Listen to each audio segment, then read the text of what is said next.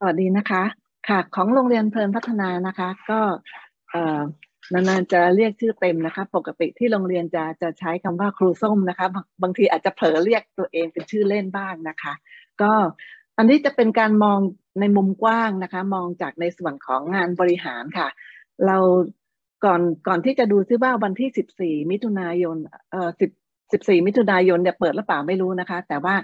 เราก็คล้ายๆ ราชินีบนค่ะ คือ 17 พฤษภาคมเนี่ยเราเปิดเทอมออนไลน์เลย โดยประเมินสถานการณ์ก่อนว่า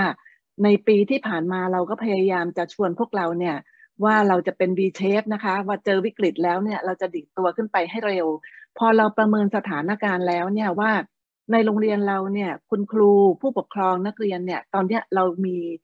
มีอยู่ตรงไหนบ้าง ก็จะพบว่ามีสามกลุ่มนะคะ กลุ่มที่ปรับตัวได้และเก่งขึ้นเลยจากวิกฤตคราวที่แล้วนะคะ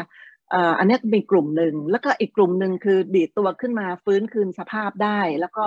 อาจจะต้องขอคำแนะนำนิดๆหน่อยๆนะคะ แล้วก็กลุ่มกลุ่มที่เป็นส่วนน้อยนะคะ ก็ยังเป็น L shape อยู่ค่ะ คืออาจจะยังฟื้นขึ้นมาไม่ได้มาก เราทำอะไรเราก็จัดระบบช่วยเหลือกลุ่มที่ยังยังขึ้นมาไม่ได้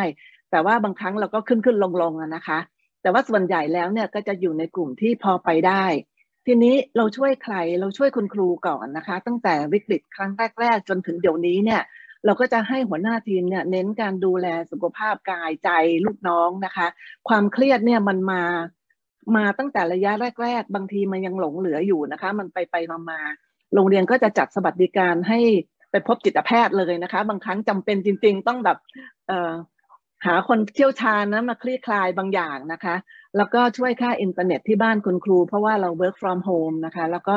อาจจะสนับสนุนมีโครงการให้ครูเนี่ยได้จัดหาอุปกรณ์เป็นของตัวเอง อีกส่วนหนึ่งคือผู้ปกครองค่ะ อันนี้เราจะเจอวิกฤตมากในการเจอโควิดรอบแรกนะคะ ผู้ปกครองพลิกบทบาทจะต้องเป็นครูอยู่ที่บ้านภายในข้ามคืนเนี่ยตรงนี้เราช่วยโดยการจัดระบบสื่อสารทุกช่องทางที่โรงเรียนจะหาได้นะคะ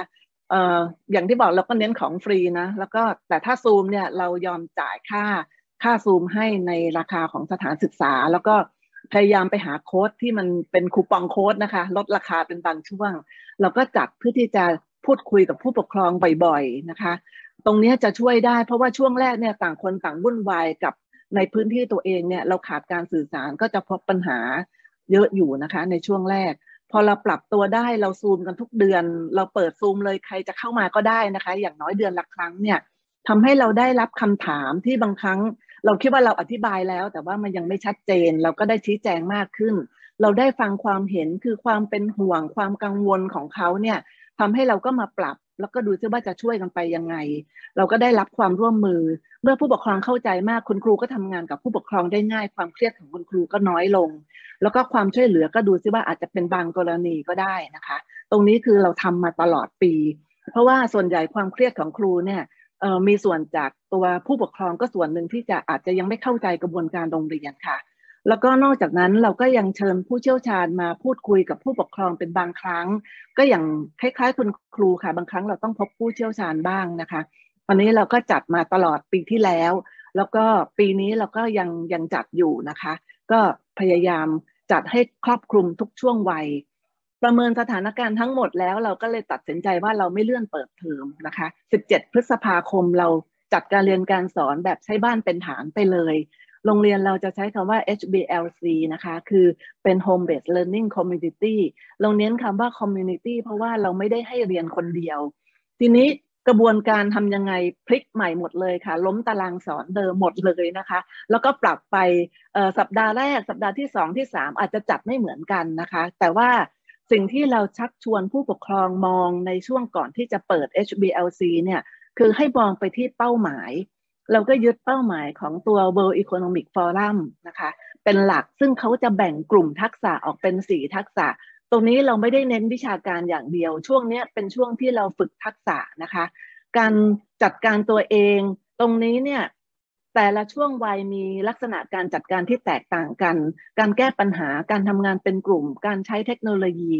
ทั้งหมดนี้เนี่ยตั้งแต่อนุบาลจนถึงมัธยม แต่ละช่วงชั้นก็ไปปรับใช้ เป้าหมายแล้วก็กระบวนการให้มันเหมาะกับเด็กของตัวเองนะคะ ทีนี้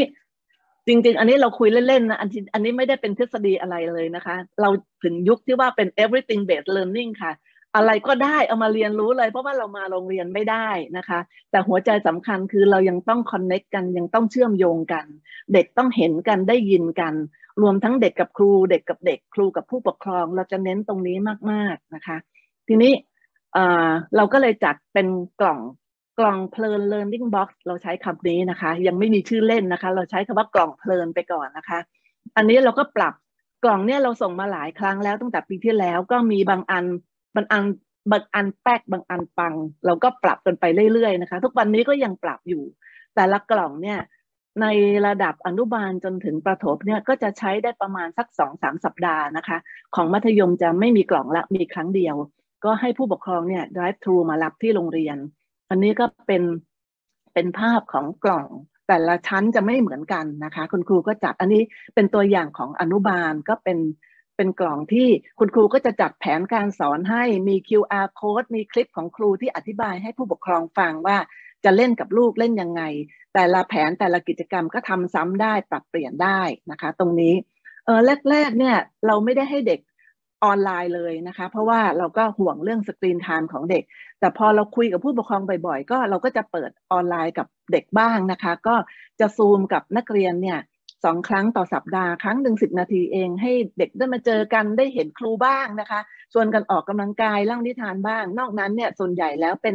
ตารางกิจกรรมที่ให้พ่อแม่ไปปรับใช้ แล้วก็จะเป็นเรื่องของการที่ครูทำงานกับพ่อแม่มากกว่า ผ่านอุปกรณ์ แล้วก็ เรื่องของซูมของ Facebook กลุ่มปิดที่เขาใช้คุยกัน อันนี้คือในอนุบาลนะคะ อันนี้ก็เป็นตัวอย่างของเล่นที่จะฝึกทั้งกล้ามเนื้อเล็กกล้ามเนื้อใหญ่ฐานคิดมือตาสัมพันธ์ อันนี้ก็เป็นเด็กๆนะคะ คุณครูก็จะวางเป้าหมาย อันนี้ก็เป็นอุปกรณ์ทดลองวิทยาศาสตร์ง่ายๆ ให้ทำที่บ้านประมาณนี้นะคะ อันนี้ก็เป็นภาพภาพฝึกงานที่บ้าน แล้วก็ชวนออกกำลังกาย ต้องอย่าลืมด้วยเราต้องสร้างภูมิคุ้มกันที่แข็งแรงใช่ไหมคะ เด็กๆ ยังไม่มีวัคซีน อันนี้ก็เป็นภาพเบื้องหลังการทำงานของคุณครูนะคะ อันนี้พอมาประถมประถมเนี่ยอันนี้เนื่องจากว่าโรงเรียนเราอยู่ในกรุงเทพนะคะ คุณครูก็จะส่งทั้งดินก้อนกรวดธัญพืชให้กับเด็ก ๆนะคะ เนื่องจากว่าบางบ้านอาจจะหายากนะคะ ก็ชวนเด็กใคร่ครวญโลกภายในของตัวเอง คือทำงานศิลปะไปด้วยตั้งโจทย์ให้เด็กได้ถามตัวเอง แล้วจุดสำคัญคือช่วงที่เด็กได้มาเจอกันแล้วบอกเล่าว่าเขาได้อะไรรู้สึกอะไรจากการทำชิ้นงานนี้นะคะ นอกจาก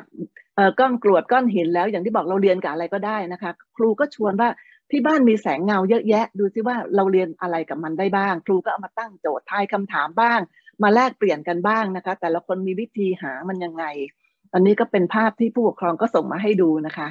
ประมาณนี้เนาะแล้วก็หรือเอากระดาษแผ่นหนึ่งมาชวนพับกระดาษแล้วก็มาแชร์กัน หรือคุณครูก็จะมีการชวนเด็กออกกำลังกายนะคะ อันนี้เด็กต้องสมาธิดีมากนะคะ ว่าพี่น้องกันอีกคนนึงกำลังเรียนอีกแบบหนึ่งแล้วก็น้องก็กระโดดออกกำลังกายไปกับคุณครูนะคะก็ฝึกการกำกับตัวเอง อันนี้ก็เป็นท่าทีของครู เพราะว่าอันนี้เราต้องให้เด็กเขาเห็นครูทั้งตัวนะคะ จะรู้ว่าร่างกายเนี่ยเออเคลื่อนไหวยังไงประมาณนี้เสร็จแล้วก็ชวนกันผ่อนนั่งสมาธิแล้วก็มาแชร์ความรู้สึกกัน ให้ความสำคัญกับที่เรามาแชร์กัน ส่วนของมัธยมก็จะทำคล้าย ๆ กับรอบที่แล้วนะคะ ครูก็จะฝึกนักเรียน เกรดเจ็ดค่ะ ชั้นเจ็ดคือมหนึ่งซึ่งอาจจะยังรู้จักเครื่องไม้เครื่องมือไม่เยอะนะคะ ครูก็จะคุยกับนักเรียนรายคน แล้วก็แนะนำให้รู้จักเครื่องมือก่อนก่อนที่จะเริ่มวันที่ 17 พฤษภาเนี่ยเรียนออนไลน์จริงๆตารางสอนจะคล้าย ๆ เดิมแต่ปรับเวลานิดนึงจะเหลือคาบละ 40 นาที มีช่วงพักบ้างนะคะ แล้วก็มีช่วงส่งเสริมซ่อมซ่อมเสริมตอนเย็น แล้วจะเปิดเมื่อไหร่ก็ไม่รู้ แต่ว่าเราก็จะเน้นเรื่องของ collaborative active learning เราใช้ Zoom Breakout Room นะคะ เป็นเครื่องมือในการจัดกิจกรรมกลุ่ม 4 คนนะคะ4คน 5 คนอันนี้แล้วแต่ แล้วก็นอกนั้นก็จะเป็นของฟรีค่ะ Padlet อันนี้จะแชร์ได้ในหลายรูปแบบคุณครูก็จะชอบใช้นะคะ หรือเป็นเมนติพวกนี้ลองลองใช้ดูนะคะพวกนี้ของฟรีหมดเลยค่ะ เราเราไม่ได้สมัครเป็นเป็นสมาชิกนะคะ ยกเว้นคุณครูบางคนที่อยากได้จริง ๆ แล้วก็